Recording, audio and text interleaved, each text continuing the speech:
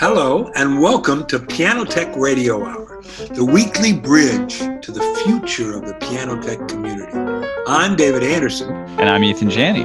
And we're here to ask great questions, and then we'll shut up and listen to some of the authorities, experts, and most outstanding personalities in our little world of pianos. So, put on your best set of headphones and let's get started. Hello, everyone. Hush. Welcome to Piano Tech Radio Hour. Just let everybody filter in here for a little bit before we officially get started. Wow, Things are looking good. Oh, let's make sure and everybody. I'm going to mute everyone. Uh, just a second.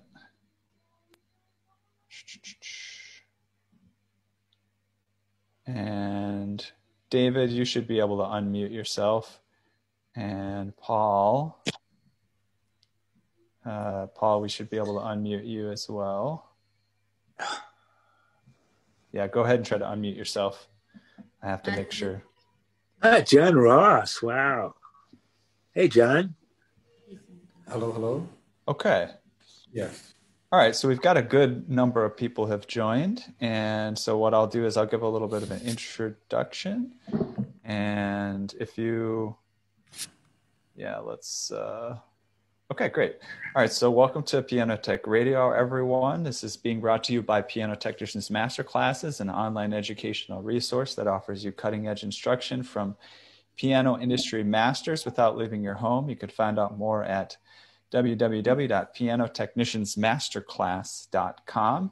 And up front here, I'll just remind everybody we're going to be putting on a convention in March. Very exciting. Great guests, instructors for that convention, including our guest for today, Paul McNulty, who uh, basically reverse engineers and builds uh, period pianos and forte pianos.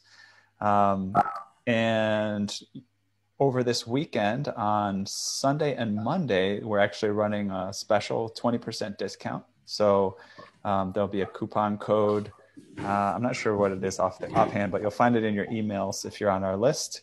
And we'll try to give that before the end of the session. So make sure you catch that in name of George Washington's birthday and Valentine's Day. Fun combination.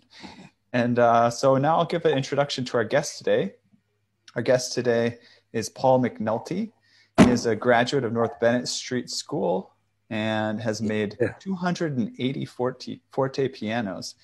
His copies of Silbermann, Stein, Walter, Hofmann, Fritz, and Graf feature in many recordings and are owned by prominent players and leading music institutions such as Nikolaus Harnoncourt, Paul Badura Skoda, Malcolm Bilson, Ronald Brautigam, Warsaw Chopin Institute, Klassik Stiftung Weimar, Paris Opera, and Glyndebourne Festival, as well as Cornell, Oberlin, Stanford, Harvard, etc. Paul McNulty was first in modern times to build Pleyel 1830, uh, Boisselot 1846, Streicher 1868, and Chopin's Warsaw Piano 1826, Buchholz.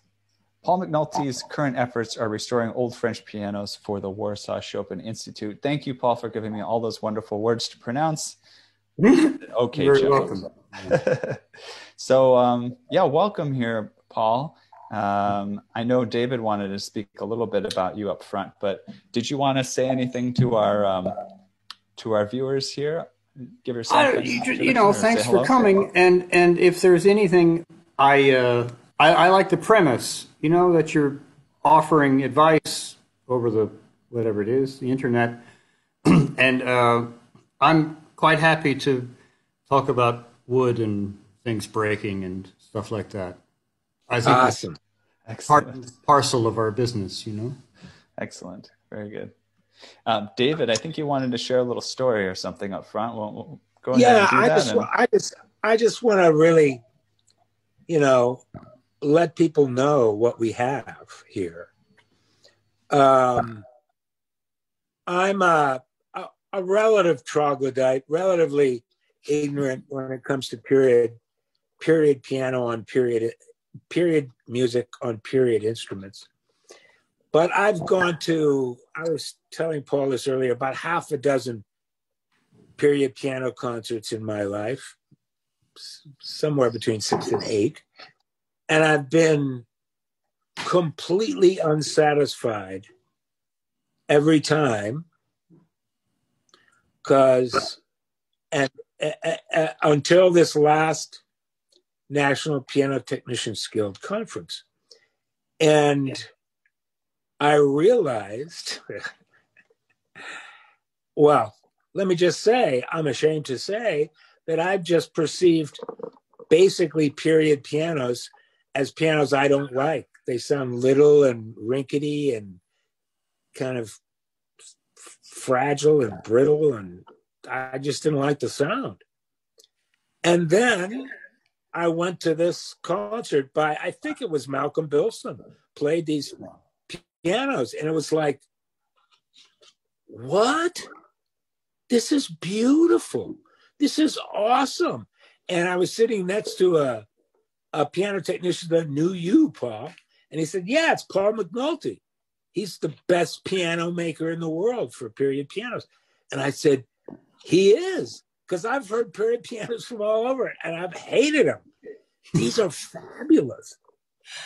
So just know that you're you're you're with the master that at the, that is at the top of his food chain and he's got a lot of wisdom and a lot of a lot of areas for you so let's have at him wow yeah thanks so yeah we're, we're we're very appreciative to have you here that's for, that's for sure um, I'll, I'll just maybe start the conversation off here i'm very curious because you went to north bennet street school here in the. United States. And I'm curious, were you already into period pianos before that? Did no, I was into, into uh, I was into playing lute by default, uh, having not succeeded in becoming a, uh, so to say, professional classical guitarist. and people who can't play virtuoso Spanish music play lute music on the guitar. So I got involved in Dowland, and that whole early music scene in the 70s was compelling. Uh, and, uh, you know, so I was not so, I was receptive when Bill Garlick is speaking of harpsichords and forte pianos, as he was. So it happened that way.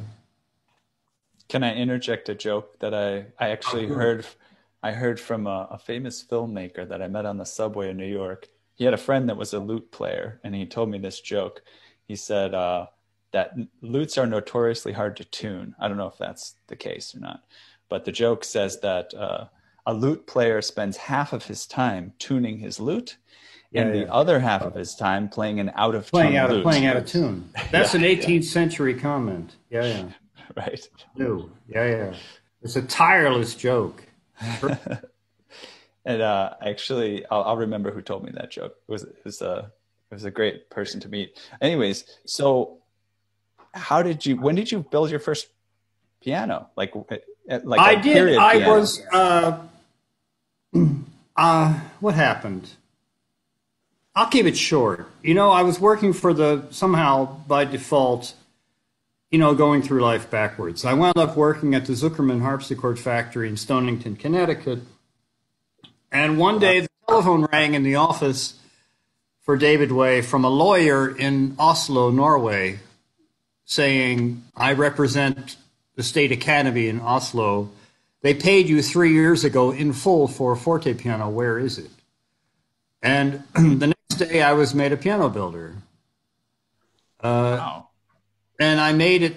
And three months later, it. Uh, Can you back up just for a second? Wait, how yes. did they? Why did they pay you for the guitar? No, they, they didn't pay me. They paid David Way and Zuckerman. Oh, okay, got It. Got it.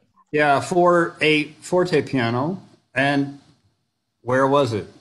Uh, so I was really the next day, uh, and I worked for three months, eleven hours a day, and I made the thing. And it it made it that this piano was then of course in Oslo and when I later was uh, uh, between two chairs uh, with no work I was I agreed to to accompany John Gibbons, the harpsichordist and pianist, on a tour with the Frans Brüggen uh, Orchestra of the 18th century, on a tour of Europe with somebody's piano, not mine, tuning and driving. And at the first rehearsal, the piano which they had uh, just fell apart. You know, you pick it up and you move it, and the leg falls off, and uh, and it was with wire made by Remy Gug, who was fond of hand forging wire. Uh, and what happened in the first movement of the Mozart C minor concerto was that about 10 strings broke in the first rehearsal. And they, Gosh. do, do I know of another piano? And I said, well, there's one I built and it's in Oslo. And they called this Professor Kjetil Haugsand on a Saturday and he agreed. And on Sunday, the piano's in the box on the airplane. And with this, uh, at the next scheduled rehearsal, they play through the first movement of this Mozart C minor concerto. And Frans Brüggen turned around and went, Mwah. and that was my moment. I got that's the beginning of my career. The first cello player ordered a piano, etc. And I moved to Amsterdam. This is 1987. Yeah. Wow. So, So- did you have help? Did you have help and No. mentorship and uh, on that first piano? Uh, I had worked for Robert Smith in Boston, uh, but I I was not. I was just like putting strings on a piano and stuff like that. Uh, I was not, so to say, gathering. I was not picking his brains, and you know, it just. It, So, it- how did you figure out how to build? No, Yeah, how did you figure out how to build a piano, dude? Well, it's it's uh, you know one stick after another goes together eventually, and you have to. But there are, uh, you know, you're steaming the bent side and stuff like this, and not getting it correct, and cramming it into position. Uh, it it was just not. Uh, it wasn't easy, but it was not. It's not as challenging as making a violin, for example. N- nothing on that order.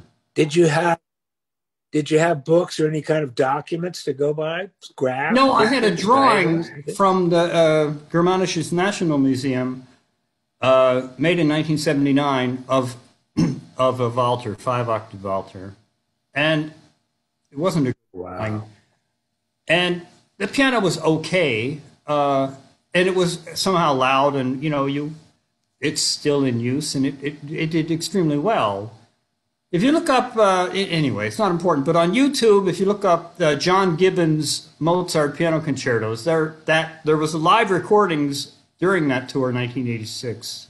It was, uh, and you know, it's still there on YouTube, and you hear it. The piano does well, very well.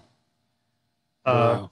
I, So uh, your whole, your entire career in forte piano building and period piano building was literally on the job training. Totally. Literally failing upwards in a spiral.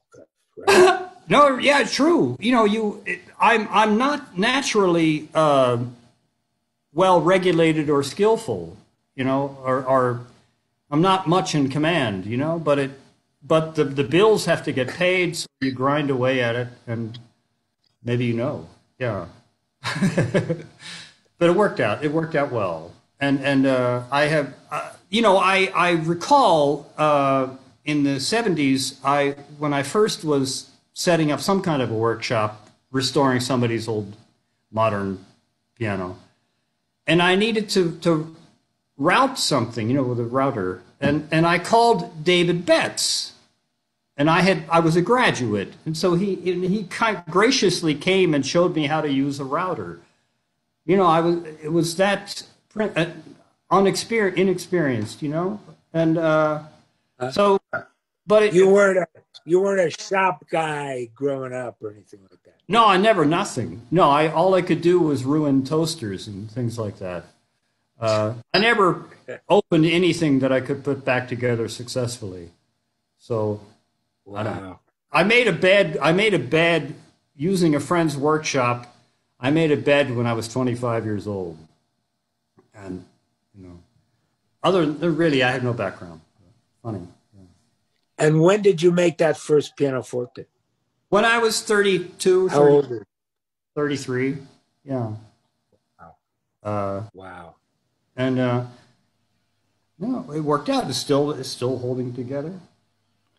So I want to I want to cut in here real quick just to remind people in the audience that they're welcome to ask questions. Um, you can put them in the chat. Um, we haven't we have uh, sort of your a lot of your concert technicians or field technicians coming through Piano Tech Radio Hour, so the questions can maybe be a little bit more familiar. You know, I've done this on the in the field. How do I do it better? Questions like that. But um, I think as we open it up to questions for you, there'll be a lot to unveil. And, and I think maybe I'll just transition a little bit to Yes. um, do you ever get calls from, you know, a university piano technician or, or something like this, or just somebody who's trying to approach working on one of these pianos? No. no. And, but if you don't, do you ever encounter like common difficulties or questions people have? Well, what happens is that people take the keyboard out without knowing quite what they're doing, and they break hammers. Uh, Then they glue them back together with whatever they have, and everything is sideways. And uh, what I would like to emphasize is that there is a way to get a keyboard out of a Viennese piano with more confidence. Uh, if we can talk about that, or I will kind of show it, it can be done. Okay. Tho- those are the issues that people encounter are, uh, you know, a click in the mechanism, and then the capsule. It's called a capsule, which the fork which holds the hammer shank. It's a metal to metal bearing, and it, it's, uh, you know, like a clock. It's very low friction, but it, if it's not quite right, then it might click if it's the tiniest bit loose. And if it's too tight, then it's too tight. There, you have to be attentive and every now and then do something. And that's where the problem arises that you don't know how to get the keyboard out. And I can just tell you the way to get the keyboard out can show. I, I shall, but the way you uh, get the keyboard out is that you look at all the hammers and make sure they're down. And then you start whatever you're doing, and you don't wear a jacket which will touch the keys as you're bending over looking. You know, the, I have had professors take the, you know, experienced forte piano professors take the keyboard out of a Graf, and eight hammers in the middle of the keyboard are snapped off because he had his jacket if sitting on Ugh. you know? So it, it you know you you there are just you have to be uh, there are rules. You know the, caution is only this is the only thing. Keep looking at what you're doing and move you know if you can if you move with some thought that uh, yes i will move it i will pull it out half a millimeter and rest a little bit and then pull it out another half a millimeter until i know what i'm doing. And eventually you get it out. Uh, i can do I, if you just look over here i'll take this keyboard out. Sure. I mean, this is a Graf keyboard, and uh, for example, this is the uh, key slip, and it's got a spring on it here, and you know, in this for this design, it slides over and flips out. And some of these things, I can show you another one if you wish. Please come over here. It's a, also a early romantic piano. This is an original. Uh, and this thing, you have to do, you see how I bend it? I'm bending it, and then it comes out in the treble corner. You know, it's brutal. It's Wow. into the slot here, and to put it back in, it's not going to go in. It just won't go in. But I, if I bend the heck out of it, then it goes in. So, It's so no, I'm going to take the keyboard out of the Graf. I've just taken the key slip out, and then I look down at the hammers, and I'm bending over, and I'm looking at the hammers, and I'm not wearing a coat. And what I then do, I have determined that all the hammers are down. And then I get my fingers in someplace where I can reach, and I start wiggling it. You know? I'm just wiggling it left and right until I have it in my hand. The butt, the heel of my hand is there. So it's not going to jump out. If you look closely, there are knobs, which are, you don't really see it, but there's a brass knob or a gold knob. I can see it a little bit, yeah. Yeah, well, but the thing is, you, it's not there to, you don't use it to get the keyboard in or out. Could you just go just a little bit more and lower, please? Yeah, that's it. So you can see that my, if I want to get it, see, I have now gotten it down. I'm going to do that again, where you, you know, you wiggle it, and you wiggle it, and you, and you have to wiggle it because you're, you want to help the hammer check rail uh, fold down out of the way. I'll show you what that means. Anyway, so I got it this far, and the rule is that I take another look once it's down, uh, that all the hammers are out, and then I can slide it, and I pull it out, and you see this is, uh, if you see what I'm doing here, that's the hammer check rail, and it's sprung so that it can it can fold out of the way uh, so that it, it, the action can slide up the risers at the at the rear. It doesn't go all the way to the rear and then up. It goes up at a certain point at an angular way, and then this thing has to has to sneak out of the way. Well, it's on a spring, uh, and it, it has it has also to get out of the way when the action is removed. That's why I'm. I'll show you again. When I get it in there and I want to get it out, I wiggle it.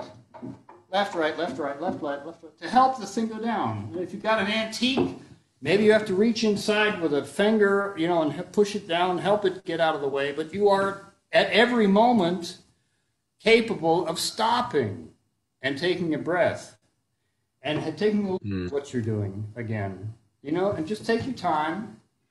Uh, it, it's uh, it, it has to be done, you know, with some. You can't be totally stressed and, and do this comfortably. Anyways, like so that. when when you return the action, reach underneath. Look at this. You, I get up on, you know, I get it up and I got my hands on my knees, so I'm not trying anything strange. I, I don't. Uh, that's that's on the return, right? You have to bring it out. That's on the return. I, here I'm going to look again. I just wiggle it, get it down.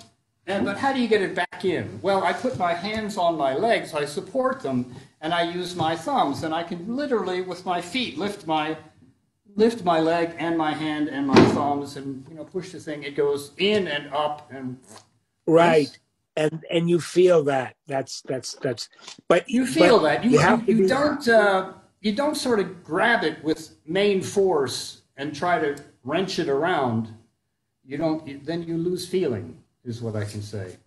And then this goes in, and I'll show you what a Walter does. I have a bunch of paper stuffed in the keyboard here to adjust it una corda. Get that out of the way. All right. Now there's a Walter here, uh, and this thing is it has a nail which holds the keyboard in. Right? There's a pin, uh, which is in the in the you know the tuning pin array. There's a pin which fits into the keyboard, and it locks the keyboard because you know it can it can just look the way. Again, I'm going to say I'm going to look straight down. I see all the hammers. And then I, I have my hands in this orientation like that. And I'm going to grab the knob and I'm going to put the piano into, into my hand. At every moment I can stop. I can move out millimeter by millimeter and then down, down, down, down, down. And then I look again and it comes out. Uh, and it, the Viennese thing where you have an angled, uh, angled blocks at the rear which, you know, slide the keyboard up. And that requires this to sneak out of the way when it goes in. Got a so question from the chat here. What happens if that spring is broken? Does that happen? the spring is broken. It is a bicycle spoke, which you bang on with a hammer. It's made that way. I'll show you. this is a. Oh, somebody made. You guys have. Okay. In in my latter days, people are using better material, but it's a long spring, and if you get a bicycle spoke from your neighbor's bicycle or, or the shop and you bang on it with a hammer, you can make a spring of your choice, right? Eventually, it doesn't. It can't be terribly strong, uh, but it, it has this. You see that it has a, a range of movement, right? Right. and it's it's on. If I am telling you about it, it's on a pin. It pivots on one pin on the left, right uh, here. Yes, and if, for example, uh, the hammer check somebody's piano and all the hammers are checking in the wrong, they're checking too low, for example, then you can on a single hammer rail, you can bend the pin forward like this and they will all the uh, the hammers will check higher or the reverse. You can adjust it with on with this nail here, this pin. I hope this is clear to you, but there's a nail here. You know, Yeah. And you tilt it. You're saying that's what's this thing. There, it, this there's a hole here, and that sits on that nail, right? and it's it's there for your use for adjustment. It also it, it you can incline it to the left, and then you're helping the rail. You want the hammer check rail to be in a some orientation, not too low, not too high, and the, the orientation of this nail on the left is helping the spring do what it has to do. It goes together. But the, the thing is, once you, what we are speaking of in particular is getting the keyboard in and out. It's worth practicing. Um, and once again, if I say I don't want to try to lift it from an awkward position, so I have my legs here, my knees, and I have my hands here, and I can, I'm moving my feet. And by one means or another, the keyboard's going up because my fingers are there. My fingers are on my knees. My hands are on my knees, right? So I go up and wait a minute, and wiggle, wiggle, wiggle, and you find it. Yes. Yeah. Uh, But I can see how people can totally screw that up because they're, they're coming it- to it, it- thinking it's a piano, like it's your it, modern it doesn't. day piano. It doesn't Yeah. quite go that way. It doesn't Right. just come straight out, and you can't blame the piano for having this feature. There are technicians who blame the piano. Yeah, in that case, after they break something, That's Which bizarre. form, as we say, you know. Sounds So- like a human thing to do. It's a human thing to do. Uh, but I'm gonna I'm gonna cut in here real quick. I'll just mention to the people that are watching on Facebook and YouTube, we're gonna sign off in a minute on Facebook, YouTube. So th- there should be a link in the chat there that you can uh, come and join us on on Zoom. So just wanted to warn people that that's about to happen. Um, I do have some questions here in the chat as well. Um, let's see here. So David Skolnick from New York said, uh, "Paul, did you at any point use old soundboard wood?" Katzman in Amsterdam did at some point. Does that question make sense to you? uh, no, but I have stuff in the in the garden that's been there for 15 years. I don't see that. You know, there there are harpsichord builders who made ravalement instruments using a hundred year old Ruckers harpsichords, but that's because they were famous, not because they were, so to say, the wood was old and therefore more valuable. Yeah. it, I, I think it's there's there's something to say about um, the polymerization of the resins in spruce, uh, which contribute to the tone. But if you people also use fir, F-I-R wood, which doesn't have these resins and is rather automatically sounding old if you know what I mean. A warmer tone. It, it has to do. Spruce has this requirement that that the resins need to polymerize over time. Hmm. That's that's all I know. Do you, and do you think the polymerization changes the tone significantly? I, you know, I know that a piano of mine from 15 years ago has a, a tone I can't approach with a new instrument. It's like, Interesting. yeah. Uh, on the other hand, you know, it, it, it, it's more, I would say there is more happening with string mature. The maturation of a string is probably more important to the tone. Speak about that. Well, I'll also, you also know, interrupt they- here one more time. If you need to sit down, we can give you a minute to sit down. I know you've changed your positioning. Yeah, yeah, yeah. I Yeah, yeah, yeah. make No, sure I'm just, I'm just in, uh, I'm in, uh, whatever's comfortable. I just wanted to make sure. You didn't. no, Viviana needs to put this thing, she's holding this thing. Yeah, that's what I figured. Yeah, she doesn't need to be a So let's put this all back together. cameraman. Yeah, thank you. Yeah. you. Of course, of course. Uh, but the, no, the strings, uh, there is something in iron wire, uh, you know, the, the, the impurities in well-made iron wire, for example, from Vogel in Germany, uh, V O G E L, and he makes harpsichord parts. And he makes a very good wire, which he calls Westfälisches Eisen, and it's it's 99 something percent pure iron. But the thing about totally pure iron is that it's like taffy; it will stretch forever. Uh, but the thing that, that makes a, a, a- an iron string useful is that it has impurities which stop the sliding of the, as I understand it, to stop the sliding of the iron molecules past each other like taffy.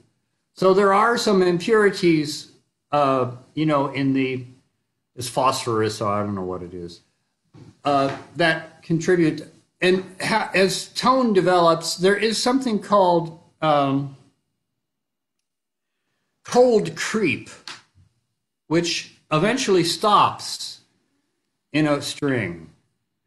And I think it's at this point, after the first year, that the, the string is, is more uh, susceptible of singing, you know? Oh,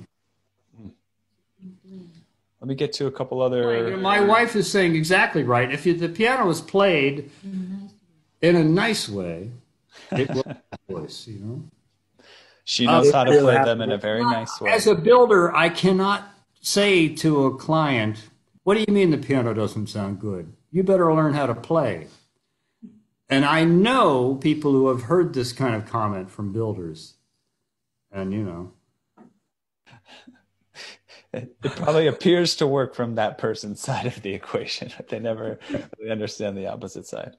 Uh, I have a comment here. Let's see. From Johann Krebs. He says, uh, This is a fascinating subject. I'm reading, yeah, yeah. Uh, he's been looking after a, a Schantz copy over the years, and the right side has curled up, lifting the strings off the head bridge. How would you approach this common problem? Make a higher head bridge? Have any thoughts on that? Well, what I suspect is that the, the cheek, I, I suppose he means the cheek is lifting, you know? Uh, and if it's gone this far, uh, he needs to take the soundboard out and mechanically change the shape of the frame and reinforce it because it was not designed to be so susceptible that you would lose all the down bearing. Um, it's a defective thing. and if you want to get any, you can't get anywhere without deep invasive surgery. Soundboard out, bend the frame over a period of weeks using, you know, blocks of wood and car jacks and things like this. And then then get brutal with you know metal corners inlaid into the cheek framework uh, because the joinery was no good if it went this far. Uh, but nobody's going to pay for this. So my ultimate answer is walk away from it. It's not yours. Oh. Yeah.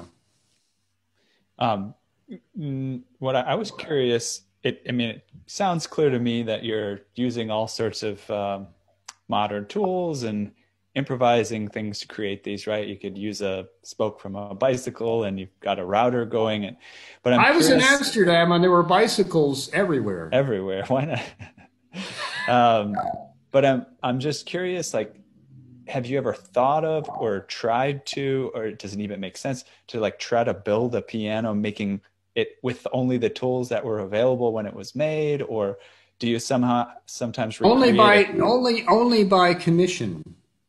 Only by commission? Asked me to do that. Someone has asked you to do that, or no? One. No has? one. Oh, okay. All right.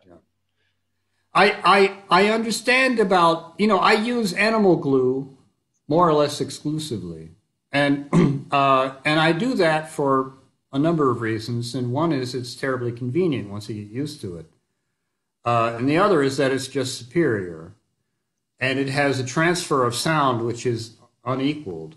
You know what I mean across the barrier from bridge to soundboard and all that stuff, and uh, so in the in in the way of uh, you know hammer veneering well you know hammer veneering relies upon modern thin veneer right whereas sawn veneer is too strong to be coaxed into adhering by using a veneer hammer this is all 19th century stuff I'm not sure what a veneer hammer is. Sorry, my ignorance. a veneer hammer is where you you know you lay the veneer on the piece on the substrate, and you have a a, a it's simply a a, uh smooth bearing surface like this wide, a piece of brass inlaid into a piece of wood, and then you got a handle, and you're working the glue out from the center to the edges all around and the adherence of the glue is stronger than the tendency of the wood to lift away.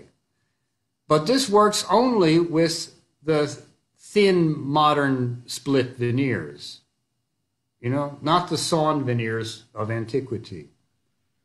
Okay. So tho- that's a technique which I used on my first piano, but that was with modern veneer, and you know, good. Glad I didn't have any presses. If you have a press and clamps and all the rest, then you know you're better off. Uh, but if you're forced to use hammer veneering, well, you can, and you just have to have water everywhere and steam all over the place, and you'll get there. Uh, uh, as for other processes, you know, the uh, hand sawing is is um I am just not capable of doing much with a with a handsaw. You know, it just wa- it just wanders, and I'm not I'm not ill. I'm not badly skilled. It's just they want. I don't know. Somebody else can do it, but uh, it there there is there is little to what I what I want to say. There is little to to commend to myself about uh, using uh, ancient processes. Right. Yeah, it sounds like in some sense. you have to get. Pardon me. I was going to say, in some sense, it's.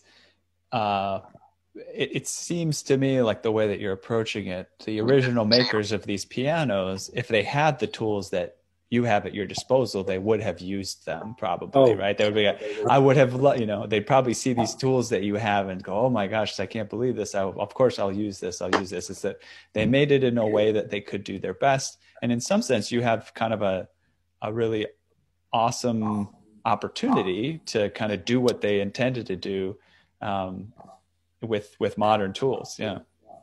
Well, it you know the the end result is is uh, uh, the useful criterion. But the thing is uh, that also people uh, woodworking was a was developed in children in apprenticeships, uh, and the the level of productivity is unequaled in modern times.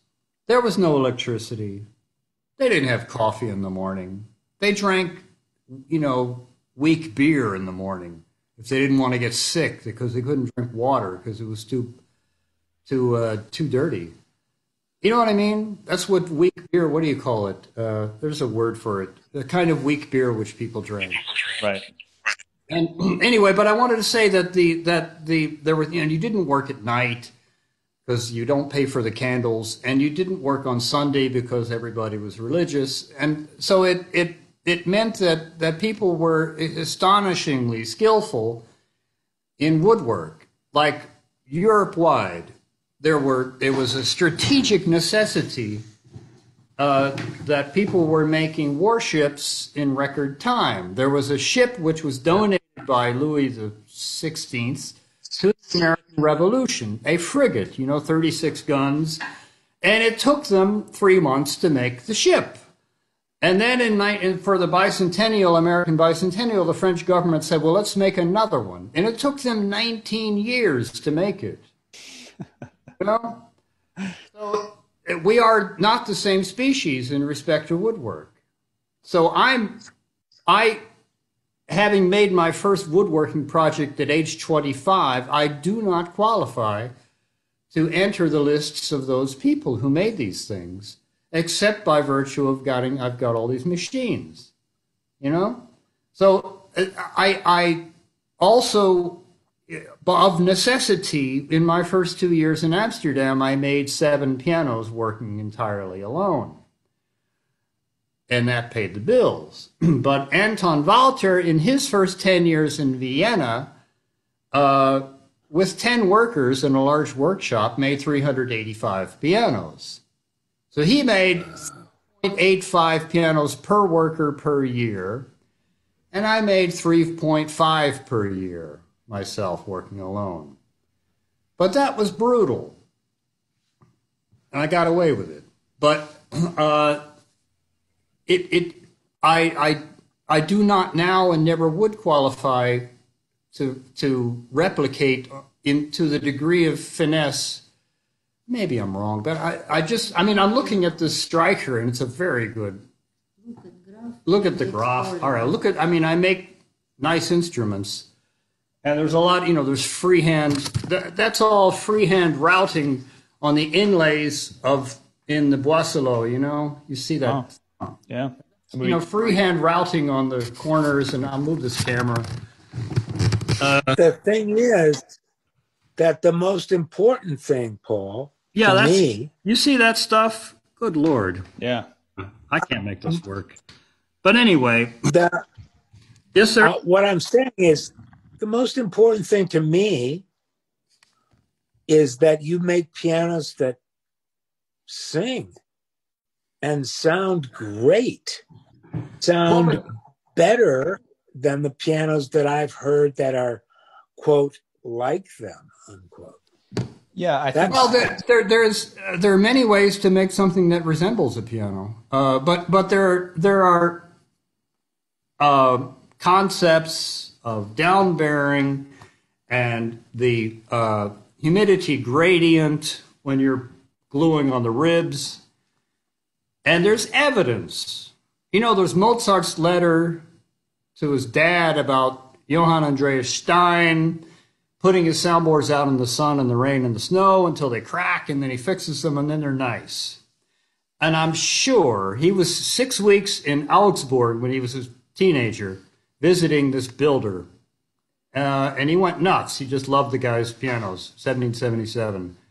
And I'm sure this is workshop propaganda. Yes, the soundboard was cracked and repaired, but it was because, and I typically have this experience, that after the bridge is glued on the soundboard, that it is dried to a thee well, and the ribs are glued on in a super dry state and you dry it to the extent that the soundboard cracks and you don't care because you've got the humidity gradient, the soundboard trying to swell up again in normal circumstances, the ambient humidity, it swells up against the ribs and creates a crown. Right. And Stein as well has very robust ribs for the for a soundboard which totally lacks what's called a cutoff bar. Maybe there is such a yeah. thing yeah, it totally lacks a cutoff bar. So there's a broad expanse of soundboard with no uh, longitudinal rib to hold the thing. Just, wow. Yeah. But, but he has, flap, he has 20 millimeter deep. He has he has an array of the ribs which are in the area where, say, a harpsichord rose is and where the cutoff bar is, he has substantial ribs which will defeat any effort of the soundboard to rise up into the strings, you know? But there is, of necessity, a crown. And there is in, for example, like Walter, Anton Walter, had an original Walter open in my workshop, and there is an angled, uh, the shall we say, the belly rail, you know? The belly rail is angled up, pointing toward, you know I'm saying, pointing uh, in, in, keeping with the bubble shape of the soundboard, as it were, right? Uh, I see what you mean. You know, and the and the cutoff bar in a Walter is carved in a radius. Its glue surface is carved in a radius. The crown is was is not on the soundboard side. Not a modern concept. Pardon me. Uh, on the soundboard side of the rib, it's carved. It's a radius on the glue surface of the of the cutoff yeah. bar, the main rib. It's you know it's this yeah. thick and it's that wide and it's quite yeah. long and, and it's carved on top. It's flat underneath. It's not a bent piece of wood. On its undersurface, it's flat, but on top it's carved. Ratio. Also, also Conrad Graf. You know. Uh, so it's like that. Somebody's asking, where do you find pianos like this? Well, call me up. You know? All right. Yeah. Do people act as distributors for you or some sort of intermediate or do people just go straight to you? No, it has not developed. Made? That that that side of things has not developed. Maybe Viviana knows. No, we are working like artisans. Uh, and uh, like we don't have uh, it's not commercial making uh, it's hand making. And probably you professionals, you know that modern pianos, uh, if they sold via distributor, they have big markup, like from 30 to 50 percent. So uh, it was developed long time ago, and of course for factory products, uh, for clothes, shoes, and etc. It's normal that things which shop gets for ten dollars, they sold at twenty. Uh, but for us, uh, we are making by order, and of course, some models are very popular, so people already seen somewhere Walter, and they come, oh, we want exactly like this, and then uh, how we can be sure that it will be like this, and we have policy that if people would not like their piano, just simply don't like, we return all money. Never yet happened, but people very happy to hear it because they sure, and I am sure that all owners really want their pianos. Uh, so dealers, unfortunately, we cannot raise our prices because it's even in small piano, it's more than 1,000 hours of hand work only in our workshop. A Walter piano, like yeah. if you see my finger, I'm pointing, that thing is 1,200 hours. Only in our workshop. And that is, I don't know, 800 hours of Stein. and the Graf is uh, I don't know how many hours. Graf is uh, 2000. 2,000 hours in the, this piano. Somebody liked the, the, poly, the, this is shellac finish, right? That's a 15 year old piano. And it, and, you know, it's sawn veneer and it's a shellac finish and it looks pretty nice. Right. And this is, uh, 6,000 hours. This is 6,000 hours, not counting my work. This Boisselot piano. Right. Uh, 1846, it has 30,000 kilos tension. So to say business, to talk business, I would say that we would be possibly able to give some commission, but really not what modern shop has. Uh, but no, not, you can't do it that way. Yeah, when people come to us, way. they just order directly, and uh, that's how it works. You need uh, to have, yeah. We, we, we, we can talk about this later, but there's a vast, no, really, there's a vast market in universities in Canada and the United States that would love to hear about your piano. Well, the argument, you know, the argument is that that it is a first of all, it's a valid instrument which is, you know, that's the first issue, which you immediately brought up, David. Uh, it's a valid instrument, and it is. It, people were not suffering for decades and decades, writing the most prolific and the most, uh, I don't know what, groundbreaking music for keyboard when, you know, Beethoven basically invented pianism as a child. When he took two years off when he was in 1780s, he stopped performing and stayed home practicing and invented pianism. Mozart was a harpsichordist. I mean, give, he was a wonderful pianist. But of course, the, what we know for pianism comes from Beethoven. It was, it was just invented at the moment that the piano itself was rather being invented. And it, it, when something is invented in the first issue of, of something, the first idea as is represented can be the most beautiful and the most striking. And Beethoven, in his early period in 1800, was writing the most striking and beautiful music. Anyway, but, but the, the point is, they were not working at a deficit. The instrument was integral with the, the texture of the music being written. Anyway, it's like that. No, that's that was a huge revelation for me. There, there had been this thing lurking in the back of my head that all these incredible, timeless, yeah, com- writers and players of insane music, yeah, had had to listen to shit sounds while they made their timeless, their timeless, you know, music, and listening to pianos that were made in the absolute pocket of that time yeah. that sang in their own way, that sustained, that spoke to me, that had power in mm their own way. It was amazing to me. It was revelatory to me. Nice to hear. Yeah.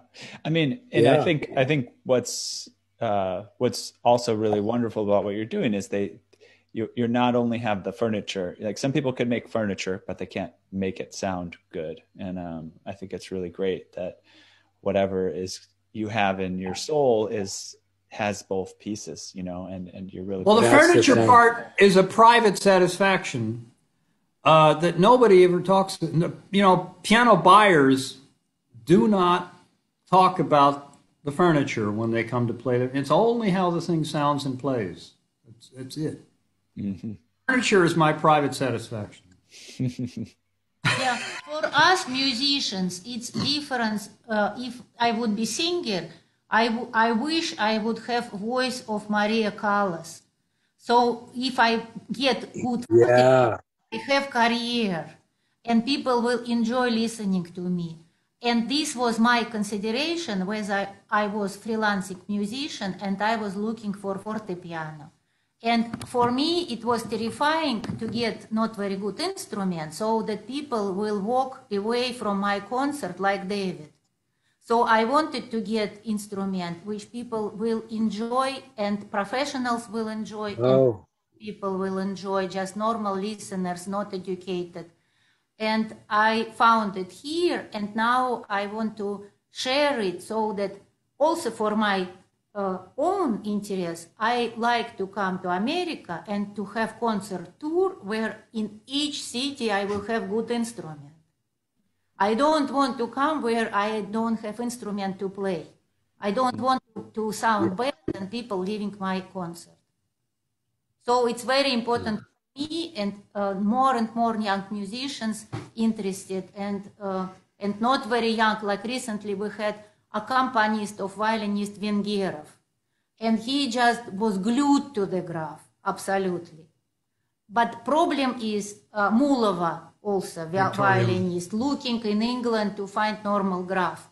And of course, nobody wants to make recording or play on bad instruments. Like who normal pianist will play on rotten old Steinway out of shape, not holding pitch, with noises, not sensitive. Like what uh, people don't realize, they uh, normal people, they say, oh, it's good sound or it's bad sound. But for us, it's also how sensitive it is. If I can have only maybe 100 gradation of sound, or I can make only or not is playing or it's not playing. Because in this case, I cannot make any sensitive phrases, I cannot shape music. It just um, I cannot express myself. It just I hate my result. That's So- right. Um, I will cut in here real quick. Uh, it's Yes. been really awesome conversation. We hope to have you back. We're really excited to uh, put together your class in March as well.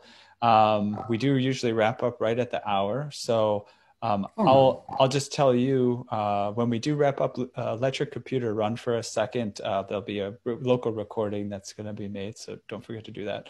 Um, in the chat, we've put a link so that people can sign up for that convention.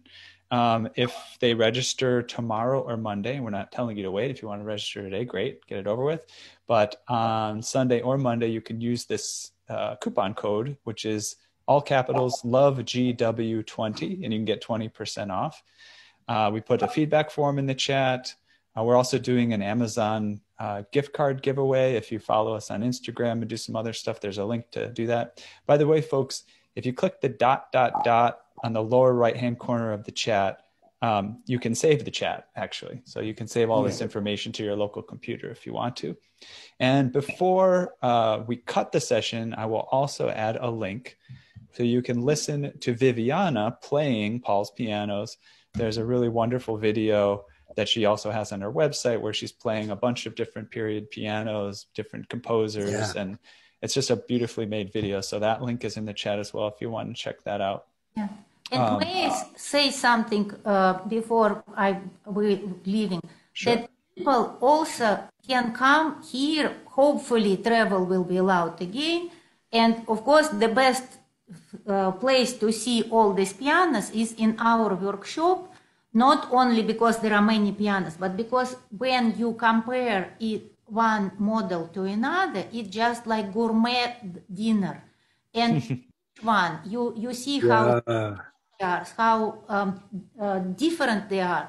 And just already one plus one, it's not two, it's like five, No, a Schubert piano is not a Mozart piano. right? And Yeah. and it's That's- we uh, would be happy to see people write us, visit us, and thank you for having us. here. man. You. That's a Thank you. beautiful invitation. Thank you. Thank you, Paul. Thank you. David, Thank you, both send me a of letter. I. I, I'm I'm really pleased to have met you. You know, I mean, we may have crossed paths in Tucson, but I'm really happy to see you. Send me a letter. Yeah. David, you got it. I'll do it. to hear. I'm happy to hear about your recovery, and you know, Thank you. Appreciate it. yeah, yeah. So uh, uh, somebody else asked just one more time, David Skolnick said, how do you save the chat? In the chat window on the lower right hand corner of it, next to the little file icon, there's a dot, dot, dot, an ellipsis. You click on it and the first option says save chat. And then you can save that and you can get all the links and whatever you need from that little little hack I just learned about on Zoom. So um, and if you can Where figure that out. save it to? Uh, just uh, after you save it, um, if you go back to the dot, it'll ask you if you want to show it in your file folders. So you can just click on that link. But um, I think it saves in your documents folder in a in a place called Zoom. You could search your computer for chat. It'll say- be saved as chat somewhere. So I know it's all complicated. if, if you need it, email me.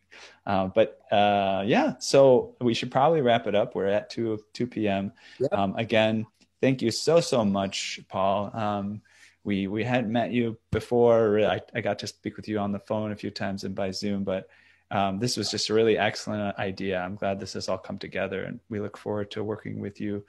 Um, All right. some Well, I, I like this whole thing, and thank you very much. And and the the point is that when we meet in March, I don't know what day it is, but uh, the 20th or 19th or something, and uh, then i- i- if there is a uh, prospect of, of technical description, and I'll have samples and things to do. You know. Excellent. Very good. We'll be sharing updated information as, as things progress. Any last words from anyone before I sign us off the, the Zoom? Thank you It's for a, it was a arrangement. Yes. Sure. yes, it was a Especially now we don't see many people, and now we've seen so many people who are, how to say, our uh, our team. So it was great. Thank you. Excellent. Family. You're welcome. Thank you. All right. All right. So All right, See you guys. soon, See you in a few weeks. see you later. Thank Yeah. you so much. Catch you later. Bye-bye now. Bye-bye.